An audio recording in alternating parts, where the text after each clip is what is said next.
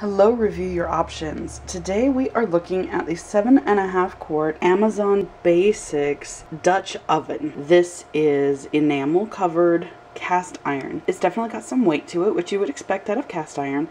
It's not as heavy as a lot of my cast iron skillets, for example, or at least it doesn't seem so to me. That may be because it's kind of spread out instead of so densely packed.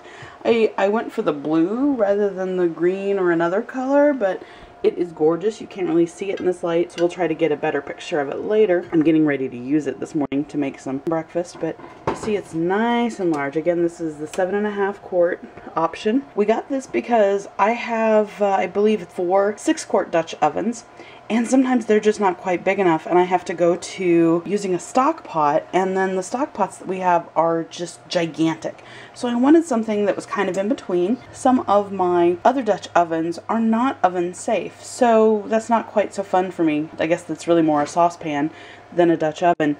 And so I got this because it is oven safe. You can see this is a metal handle. It is oven safe. It does say that it is safe only up to 400 degrees. So if you're doing anything above 400, you might consider another pot or you might uh, decide you're going to take your chances.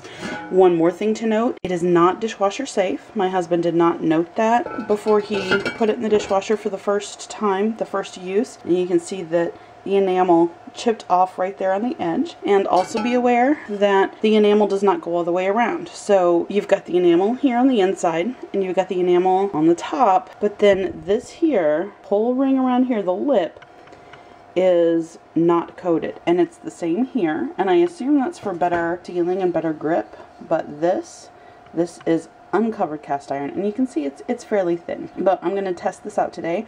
I have a, a, recipe for skillet biscuits. This is larger than any of my cast iron skillets